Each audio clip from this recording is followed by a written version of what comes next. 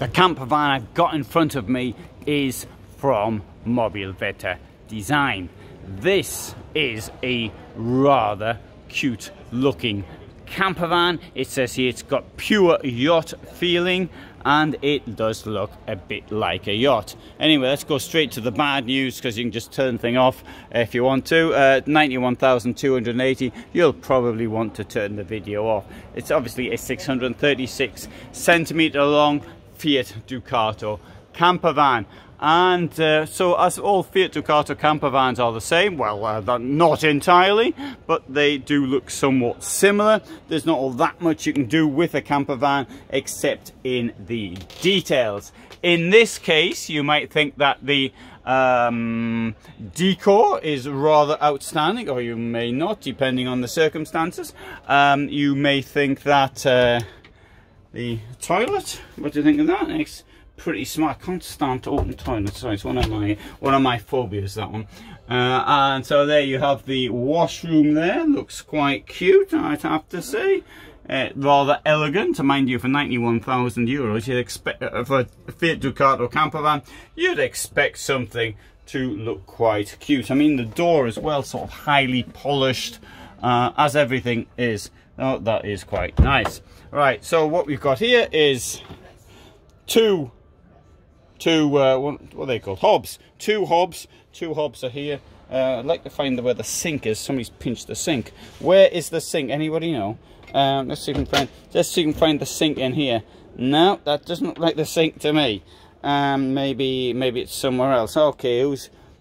All right, who's pinched the sink? It's gone. Uh, the sink has vanished. Who? Oh dear, there it is. You see, if you search, you shall find molded sink like that. Very original, isn't it? So these are the details. So obviously you can find it, even in these days, you can still find a Fiat Ducato camper van at around 65,000 euros. So what you're paying these detailed 25,000 extra, so to speak. There is a fridge here, it's a tower fridge. Uh, it's called uh, tower because it's sort of long and thin. Oh, that's got a nice blast of cold air. That I do appreciate when the weather's as hot as it is today. 31 degrees and it's in September. Uh, got here very elegant uh, very elegant so oh that's very nice looking uh, uh, lockers have got a bit of storage down here. Can't see the point of that. I'd have made the whole thing a bit deeper myself. No it's all right. No problem. It might be not really a lot of space but hey oh, it's, it's not too bad. At least at least it's covered. And uh, yeah down there pretty good pretty good. And down here what we've got is uh, this is a bed that will go up and down. Fortunately somebody has left the key in and I'm going to press the button We'll just check to see there's nothing underneath that's going to stop it coming down. And now we're going to put it down. So you've seen how much space there is underneath. Now the bed's going down. Here we go.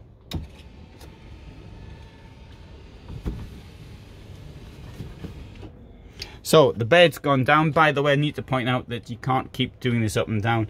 Um, at, uh, at, at leisure because the motors will pack up. So you know uh, you can do it once up and down but uh, after that give it a give it a bit of a break.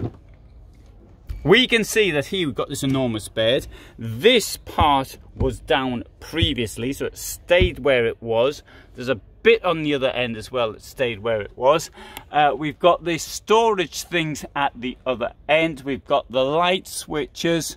Uh, we've got the sound system and uh, this is a memory foam mattress which um, I can't tell if it seems a bit soft actually to me. Mind you mind you all mattresses seem a bit soft to me. I mean I remember sleeping on the on the concrete floor and I thought that was just too soft. Uh, anyway that part. So what's it like down here? Uh, you can still see got a bit of room. Of course you'll get a better idea once I go around the back. Before going around the back we'll just have a quick look in the in the wall in the in in the drawers here. Oh that one's broken. Yeah right well that's that one came off its uh, rails.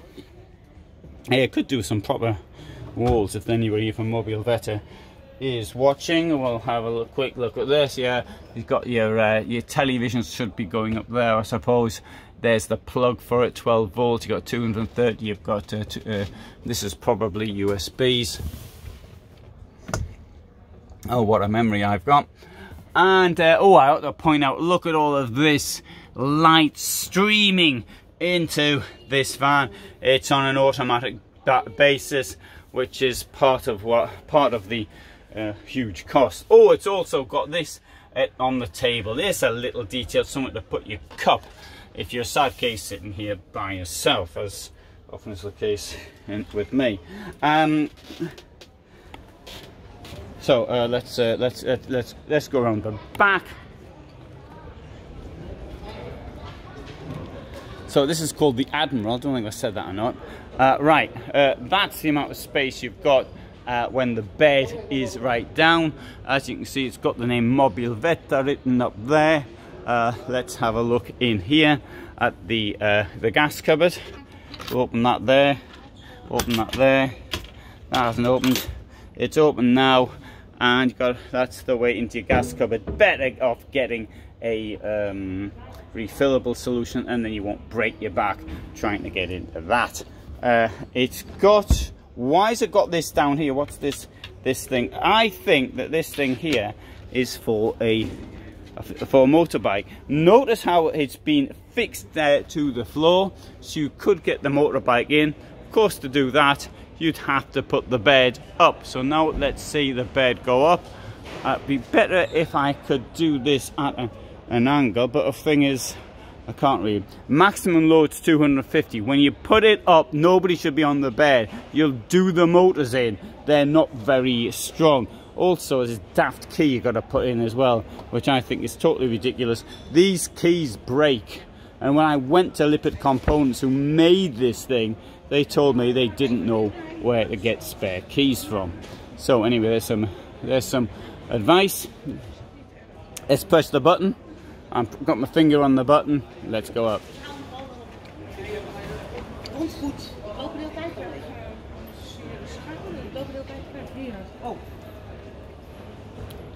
So, there you can see you can get a, a, motorbike in in here that gives you the amount of uh, uh, space you've got uh, we've also here got a uh, um, 230 uh, watt and if you had a um, bike that needed charging probably not a motorbike but a electrical bikes in here you could charge it up via there assuming of course that you were on hookup in here we will find a bit of storage space as well as the the valve to open the, um, the, the, the, the, water tank and let it drain out, uh, which you should do when it's not in use. Here we've got an outdoor shower. Whoa. Should that be needed? Let's have a walk around the side.